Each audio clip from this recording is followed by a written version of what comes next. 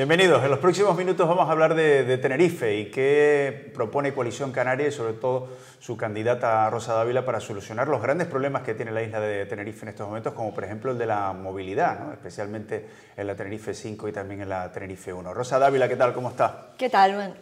¿Cómo es que Rosa Dávila dice, pues me presento al Cabildo de Tenerife? ¿Por qué? ¿Qué quiere Rosa Dávila conseguir siendo la presidenta del Cabildo de Tenerife? Pues en primer lugar, Mayer, porque en estos cuatro años hemos visto y hemos constatado como con el Partido Socialista al frente del Cabildo, del Gobierno de Canarias, del Gobierno de España, mucha gente tenía la expectativa de que con un cambio Tenerife iba a ir a, a mejor. Y resulta que hay una enorme decepción en la calle, que la percibes, ¿no? Y sobre todo porque ves eh, constatas con cifras que Tenerife ha ido hacia detrás, que está estancado, paralizada en inversiones, en empleo. En Tenerife se está destruyendo empleo cuando en Gran Canaria se están creando empleos. De hecho, se han creado 60.000 nuevos puestos de trabajo, nuevos empleos en Gran Canaria y en Tenerife por falta de determinación, por falta de impulso, por falta de trabajo del presidente del Cabildo eh, Tenerife se está quedando atrás. pero, un, presidente de, Cabildo, y ya lo digo pensando en usted cuando esté ahí en su puesto, ¿crea puestos de trabajo?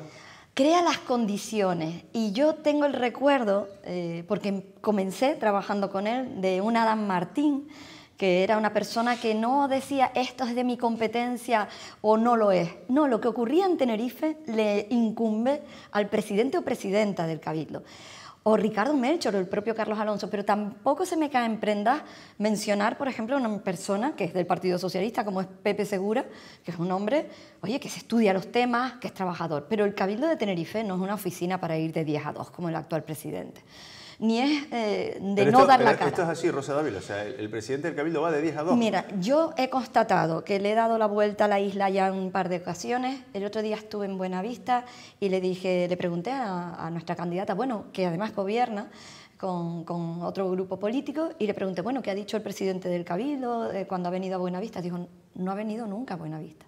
O sea, en cuatro años no ha ido a los municipios a, remangarte y trabajar con tu equipo y los equipos municipales. El Cabildo es un portaaviones que tiene la capacidad de transformar eh, la economía y por lo tanto generar las condiciones de vida mejor para los ciudadanos. Y en estos cuatro años Tenerife ha ido hacia detrás. Y yo me siento profundamente canaria. He sido consejera de Hacienda en el gobierno de Canarias.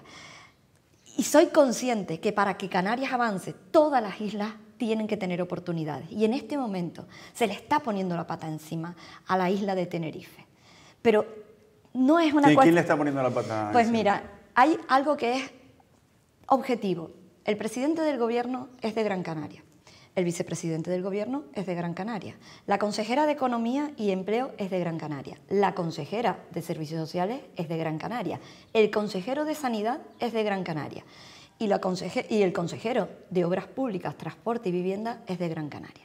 Y no es de donde hayas nacido. En primer lugar, Nunca ningún gobierno ha estado tan desequilibrado respecto a de dónde son cada consejero. Siempre se ha eh, hecho un equilibrio exquisito para que hubiera representación de todas las islas.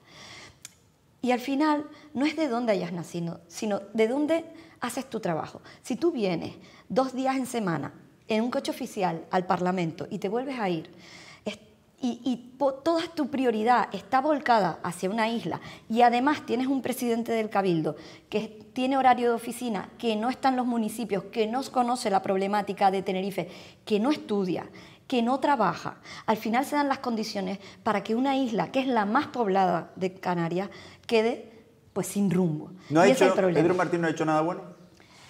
Mire, yo me miro lo que eh, se han hecho estos cuatro años por parte del Partido Socialista y lo que veo, más que acciones, son acciones dirigidas a destruir. Quitaron Ancina, Dije, cámbiale el nombre si no te gusta, pero no dejes a las personas mayores abandonadas. Se cargan la TLP para los jóvenes, un evento que tenía una magnitud enorme de proyección de Tenerife en materia de, eh, telecomunicaciones, de videogamer. 50.000 jóvenes se reunían desde el año 2007. Una edición al final cuesta consolidar este tipo de eventos.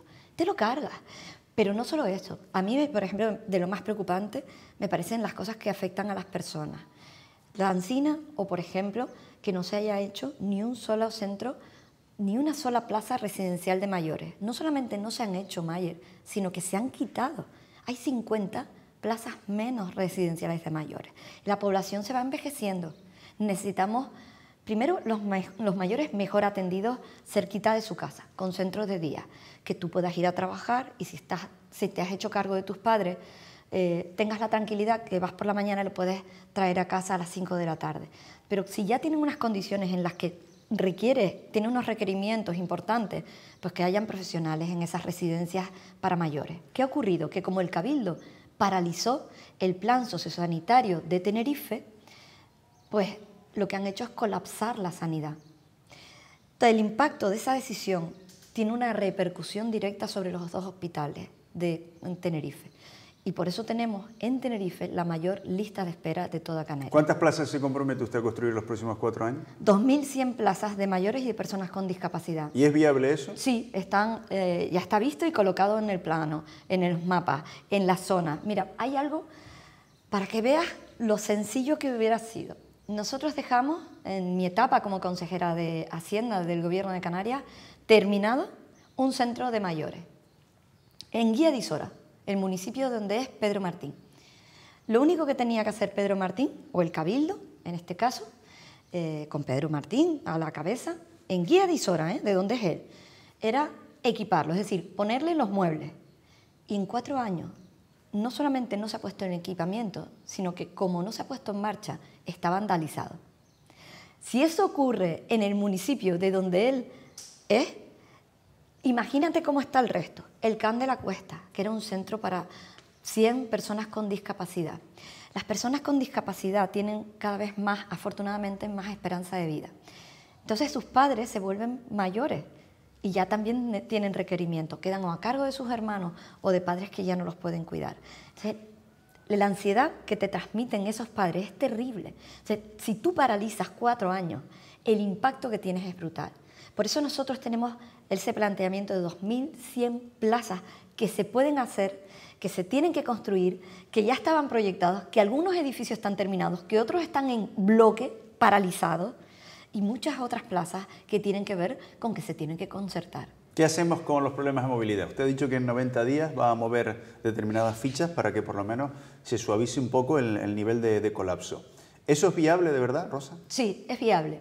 Lo que no es posible es quedarse de brazos cruzados. Tenemos un gravísimo problema de número de vehículos por habitante en la isla de Tenerife y en Canarias en general, pero en Tenerife muy agudizado por los problemas de falta de infraestructura.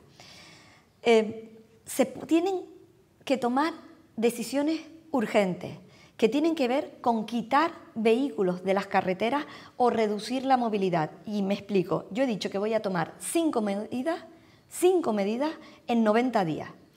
Frente a alguien que dice, voy a tomar cinco medidas para mitigar, para aliviar, no para corregir, no se van a... Yo de esto sé un poquito, fui 12 años directora general de transporte. Tú no vas a quitar las colas en 90 días. Han tratado de ridiculizarlo este anuncio. Pero en 90 días sí puedes tomar decisiones que vayan dirigidas a mitigar, a aliviar las colas. Y las decisiones tienen que ver, en primer lugar, en que la gente tenga que reducir sus desplazamientos.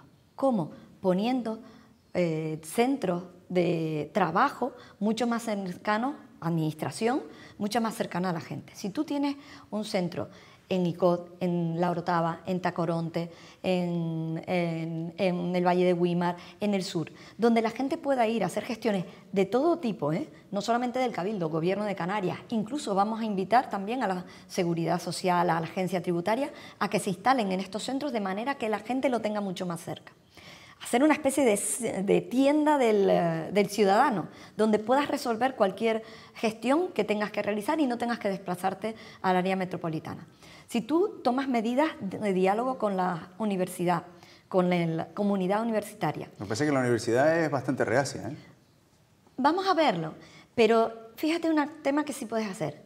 Hay muchísima gente, estudiantes, que teniendo la gratuidad del transporte público, que lo puso Coalición Canaria, porque le partimos el brazo a Pedro Sánchez para que no solamente fuera para los, eh, para los trenes, trenes de cercanía, todo el mundo se estaba desplazando gratuitamente con la subida del alza de los precios y tomó medidas que eran para la península y no para Canarias. Y conseguimos arrancar esa medida que fuera las guaguas gratuitas. ¿Qué hizo el Cabildo? Ponerle palos a las ruedas, complicarlo. En otras islas no hace falta hacer 15 viajes. Pero bueno, aún así la gente ha ido, eh, hay mucho más viajeros en transporte público. ¿Qué ha hecho Pedro Martín? Hacer más transbordo para que la gente no coja la guagua. Esto es tremendo, es decir, dificultad que la gente pueda coger la guagua. Bueno, pues nosotros proponemos que hayan guaguas lanzaderas a primera hora, a horas punta, a la hora que van los estudiantes, directa desde el sur o desde la isla baja y el norte, directa a la universidad. No directa al intercambiador, directa a la universidad para eliminar todo ese tipo de tráfico y que los jóvenes vienen a veces en un solo vehículo. Concertar con los otros transportes públicos son los taxis, concertar con los taxis para que toda esa... Tú no puedes, puedes vivir en Genoveses y llegar a la guagua porque es muy complicado. Al final coges el coche y ya que estás, pues te metes en la autopista. Bueno, vamos a invitar a los taxis, que ya yo he tenido esa experiencia como directora de transporte, para que hagan ese transporte a la demanda de capilaridad. Al fin y al cabo es transporte público y se les paga, igual que se paga la, la guagua. Y para ti, que eres ciudadano, es gratuito para ir a los centros de salud, para ir hasta donde te dejan las guaguas o hay que haya un parking disuasorio. Eso es fundamental. Y después hay otra cosa, que hay muchísimo sufrimiento de detrás. Pongamos en marcha, por ejemplo, el Hospital del Norte y del Sur. Ustedes tuvieron la oportunidad de, desarrollar esos hospitales, tanto el del Sur y el del Norte, y no lo hicieron. Siempre han estado cojos. Siempre han estado... A ver, los hospitales se terminaron. Los cuatro quirófanos quedaron preparados. Fíjate que el 60% de las cirugías son cirugía mayor ambulatoria. Y en el Hospital del Norte quedaron cuatro eh, quirófanos preparados para comenzar la intervención. En el sur se puede poner en marcha perfectamente tratamientos oncológicos, quizás no todos, pero una parte importante sí, laboratorio, para que no tenga que la gente desplazarse. Y desde luego toda la cirugía mayor ambulatoria para que está preparado. Yo creo que el Hospital del Sur tiene que ser un hospital completo, igual que lo tiene La Palma, lo tiene La Gomera o el Hierro hospital completo, completamente separado del hospital de la Candelaria. Tenemos que ir a si esos hospitales funcionaran bien de verdad, pues probablemente mucha gente tendría que dejar de ir a, los centros hospitalarios que están en la zona metropolitana. Eh, ¿Usted cree que la variante esta que se ha diseñado por detrás del aeropuerto va a funcionar? Mire, ahora mismo está ese bypass que lo que hace es coger un conflicto en Guamasa y trasladarlo a Lora y Tamayo. Para quien no conozca, es en el entorno de la laguna. Digamos que superar la famosa rotonda del Padre Ancheta. Parece que todos los informes incluso de carretera, también del Cabildo de Tenerife, dicen que esa no es la solución. Pero a mí me gustaría, cuando sea presidenta, llegar y analizar con detenimiento el planteamiento que se ha hecho por el último gobierno. Yo no soy de las que hago borrón y cuenta nueva. Yo no soy de las que voy a destruir. Si hay algo que va a funcionar, lo cogeré. No tengo ningún inconveniente, se venga del color. O sea, que usted va a permitir que esa obra se termine. No, lo que estoy diciendo es, tiene muchos informes en contra. Vamos a estudiar cuál es el planteamiento. En este momento lo que sé es que tanto por parte del Colegio de Ingenieros como por parte de los eh, propios informes de carreteras del mismo Cabildo, cuestionan que sea la mejor solución.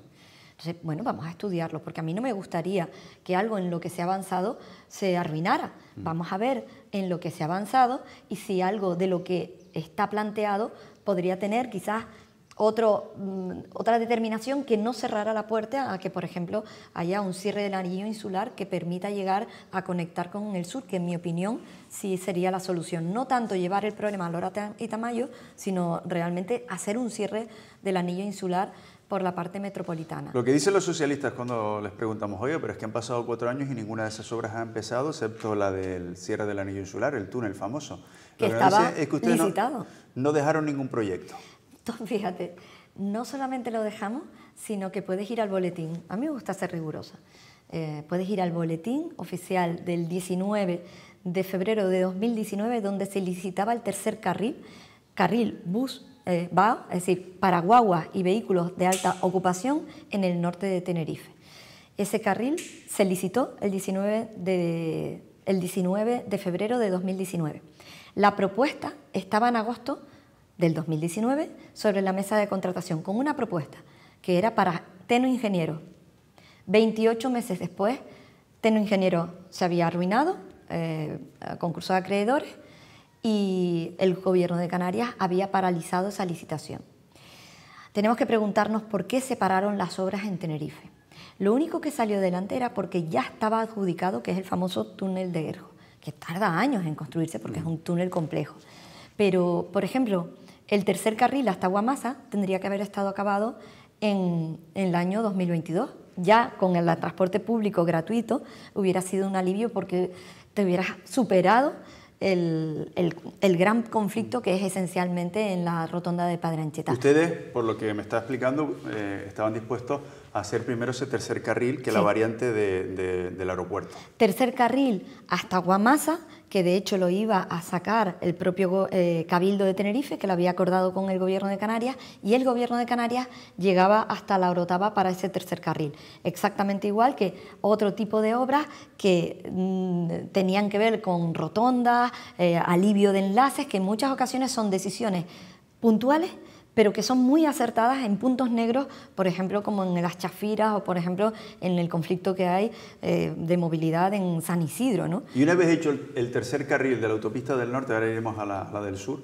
eh, ¿ya no sería necesario el tren o sí? Sí, yo creo que es necesario al menos un sistema tranviario, vamos a llamarlo trenes de tipo tren de cercanía, al menos hasta Tacoronte el Sausal. Creo que son soluciones que pueden convivir perfectamente y que puedes llevar eh, esa solución superando además los problemas que hay con algunos vecinos, a lo mejor incluso como se hace en otras ciudades, soterrado, que vaya en metro y después salga a la superficie. Hay que estudiarlo porque hay otro tipo de modelos, hay que estudiarlo bien, hay un planteamiento porque ya hay un plan territorial avanzado. En el caso del tren del sur, de hecho ya estaba el proyecto y también estaba en el informe de impacto ambiental.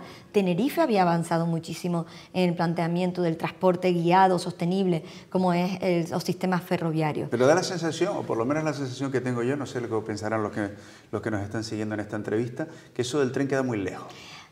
Hombre, y si lo paras, queda más lejos. Y si, y si llegan los socialistas con Podemos y dicen que en Gran Canaria es la solución viable y sostenible, pero cuando llegan a Tenerife dicen los mismos socialistas y de Podemos que en Tenerife el mismo tren no es sostenible, pues entonces si lo paras cuatro años, claro, queda cada vez más lejos.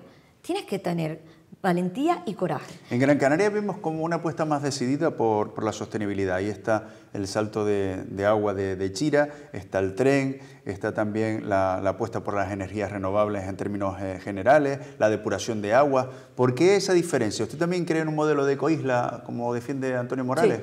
Sí, sí. La isla y todo el desarrollo que se haga tiene que ser sostenible, siempre. Y mucho más con la que se nos viene encima y mucho más con la presión territorial que tiene Tenerife. Fíjate que en la isla de Tenerife, no pasa así en Gran Canaria, en la isla de Tenerife, en los últimos cuatro años, ha crecido su población tanto como un municipio completo de la Orotava.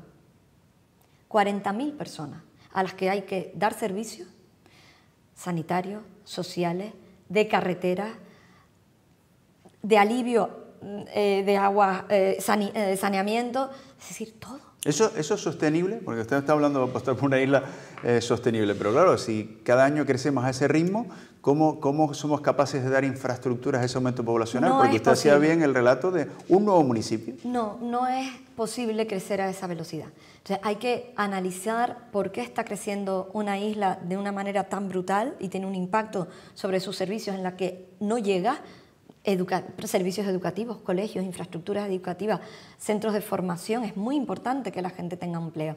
Antes te decía, te daba el dato, mientras en Gran Canaria se han creado 60.000 empleos, en Tenerife se han destruido en estos cuatro años 6.000 empleos. Hay que analizar qué está ocurriendo, si es sostenible, no solamente desde el punto de vista del desarrollo, sino si es sostenible crecer de esta manera. Porque además la isla crece de forma desigual tienes mucha presión en el sur y sin embargo la isla Baja se va despoblando. Los jóvenes se tienen que ir de la isla Baja porque no tienen oportunidades, no hay centros de formación profesional. Fíjate que había uno previsto para dar servicio a la isla Baja en Nicod. no hay centros de formación profesional básica en Buenavista. No, y sobre todo por lo que hablábamos antes, porque es un calvario todos los días, darse un claro. tremendo y enfrentarse a hora y media, dos horas de cola, ¿no? O tres horas, es que hablas con la gente que vive en La Guancha, yo estuve en la universidad hablando con chicos y chicas, algunos eran de La Guancha, me dicen, Rosa, yo me tengo que levantar a las cuatro de la mañana, me subo en la guagua, tengo que hacer dos trasbordos para llegar a las siete de la mañana, no han llegado ni siquiera mis compañeros. Entonces, eh, se tienen que tomar, hay que tener coraje y, tener coraje incluso para equivocarte, pero no te quedes con los brazos cruzados. Yo la veo a usted muy decidida por el tema de, las carreteras y resolver el problema de, los atascos. Carlos Alonso también lo intentó, pero no, no lo consiguió. Eh, ¿Cree usted que ese ha sido un fallo de su formación, no haberle metido mano a esto desde hace mucho más tiempo? Pues a lo mejor ha faltado determinación y coraje, porque hay decisiones que no van a gustar, pero hay que tener valentía.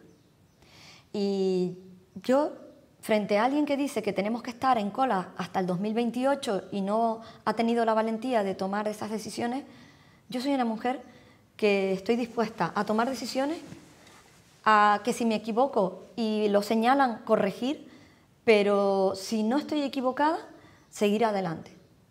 Mm. Y, y creo que en mi trayectoria política lo he demostrado superando adversidades.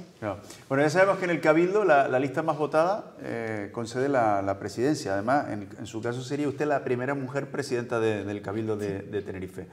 Pero en caso de que usted necesite el apoyo de otra formación política, ¿se ve, por ejemplo, cómoda con el Partido Popular, haciendo un pacto con el Partido Popular, o incluso se atrevería con el Partido Socialista? Mire, es verdad que la noche electoral, el Cabildo tiene esa parte bonita que los ciudadanos tienen que saber que votan directamente y deciden quién es el presidente o la presidenta. ¿no? Y yo creo que es un aliciente. Muchas ocasiones los votantes dicen, bueno, pero al final lo deciden entre ellos y tal. No, no, es que quien, las urnas en este momento están vacías. La decisión está en manos de todos los ciudadanos. Y los ciudadanos pueden decir, queremos que Rosa Dávila sea presidenta. Y en esa noche darme una mayoría suficiente como para poder Mayer, a mí me gustaría, de verdad, de todo corazón, que tener un gran pacto por Tenerife. Creo que lo necesita nuestra isla. ¿Pero un gran pacto por Tenerife qué significa? Pues llamar al consenso a determinadas cuestiones que tienen que superar las cuestiones ideológicas. Y me gustaría poder tener esa amplia mayoría que permitiera hablar a un lado y a otro y decir, esto no es negociable. La sanidad en la isla de Tenerife no es de un color político o de otro. Que los mayores estén acompañados y tener un programa para que no se sientan solos no es negociable. Que la primera causa de muerte entre los jóvenes sea el suicidio no es un color político.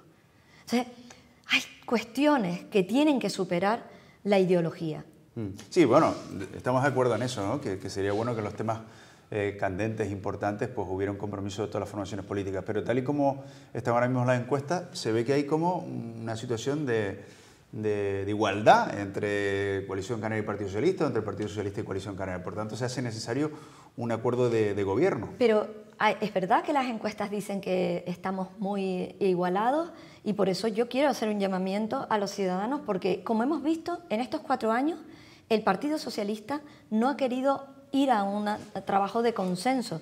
Fíjate además en un momento duro, con pandemia, crisis de Ucrania, una guerra, una subida de los precios. Y yo creo que si yo hubiera sido presidenta, hubiera hecho un llamamiento a todos los partidos políticos de todos los colores para empujar y arrimar el hombro. Entonces, creo que se necesitan amplios consensos, mm. diálogo. Y ese diálogo quizás te puedas apoyar en un partido y establecer un, pero yo creo que hay determinadas cuestiones que la isla esté atascada, que la isla está colapsada, que la isla se esté quedando económicamente atrás, que no haya un empleo para los jóvenes, que el 50% de los jóvenes estén en paro, que no se haya hecho ni un centro sociosanitario, todo eso no es negociable ni es ideología. Mm. Eso es trabajo y gestión. Y frente al Partido Socialista, que no ha tenido consenso ni ha ido por la vía del consenso, que se cargó Ancina, que se paralizaron los proyectos, que no ha tomado decisiones en materia de movilidad y que ya, fíjate, se sacaron hace cuatro años los alcaldes socialistas una foto en un, puente en La Matanza. Hoy si te quieres sacar la misma foto, te tienes que ir al mayorazgo en La Orotava. Las, las colas están peor Y lo que nos dice el actual presidente es que tenemos que esperar cinco años más en una cola. ¿Y a los mayores qué le dice? ¿Que van a estar abandonados cinco años más? Si usted no gobierna, ¿se va a quedar en la oposición cuatro años? Sí. ¿Y va a tener ese talante del que me habla ahora, de llegar a acuerdos? Sí, para poder ser ¿O va a ser una oposición dura? No, yo me quedaré trabajando por mi isla y después querré ser presidenta dentro de cuatro años. Pero espero en este momento tener la confianza de los ciudadanos. No. Hay otro problema del que no hemos hablado, debemos dedicar al menos un ratito. Eh, tenemos ahí fresquito dos, dos, ejemplos, ¿no? El del Hotel de, la Tejita o el del proyecto de, Cuna del Alma, que ha trasladado a los inversores una inseguridad eh, jurídica que no sé si tiene que ver con el marco legislativo que tenemos o con que eh, se le da el peso que, que debe a la protección ambiental. ¿Qué hay detrás de esto? A ver, yo, en mi opinión, la protección de nuestro medio natural, la protección de nuestro territorio, de nuestra fauna, de nuestra flora, de nuestro patrimonio natural, tiene que estar en el centro de la política. Te lo digo completamente segura. Pero eso tiene que también convivir con la seguridad jurídica que cuando tú tienes una autorización, una licencia eh, y se ha dado con todas las garantías, no puedes ser que cuando vayas a comenzar la obra de repente nadie sabe, como ha ocurrido en estos años, si esa autorización esté bien dada o no, eh, un tira y afloja de lo que ocurre. No es un problema de las personas ambientalistas, es que las instituciones han titubeado. Entonces, tienes que tener determinación. La primera de todas, poner en valor tu medio natural y protegerlo y vigilarlo. El TEIDE, fíjate lo que han hecho han planteado un sistema que es de prohibición absoluta de accesos al TEI, de, quitárselo a los tinerfeños. Oiga, no prohíba y además no ponga medios. O sea, lo que hace es prohíbo, pero no pongo medios. Prohíbo y resulta que hay botellones por la noche. No, el planteamiento nuestro es conserve el TEIDE, protéjalo y aquellos montañeros, senderistas, gente que va a hacer bici, eh, apicultores, vamos a que convivan con un escenario, lo pongo como ejemplo extremo, ¿no? Sí, sí, de cómo el Partido Socialista y Podemos plantean, hacen un planteamiento de prohibición, después no ponen los medios y después te generan una inseguridad enorme. Desde luego algo hay que hacer, ¿no? Y esto nos daría a lo mejor para para otros eh, dos programas más, pero eh, efectivamente vemos que hay cosas que, llaman la atención. Usted habla ahora del Teide, hemos visto barbacoas, hemos visto campamentos, paseos a caballos por zonas protegidas, pero es que en la misma zona donde estábamos hablando antes de Cuna del Alma, hasta que surge la iniciativa esta empresarial, y están todavía. Está, ¿Es una cochambre? Hay un montón de, de, camping. De camping, caravana. De, caravana. Y, ¿Cuál es la yo he preguntado, y durante este tiempo no nos preocupaba la viborina triste, que esa gente estaba encima de la viborina triste. Pero digo, ¿y cuál es la propuesta del ayuntamiento de Adeje? Porque, vamos a ver, en Adeje ha gobernado desde que desde en los últimos 40 o 45 años, ya no sé, la misma persona. No el mismo partido, la misma persona. Yo espero que además a partir del 28 de mayo haya una mujer alcaldesa. Tengo las expectativas puestas en que Patricia León sea alcaldesa. Y lo podemos hacer. Porque 40 años, ¿pero qué te crees? ¿El rey del mambo?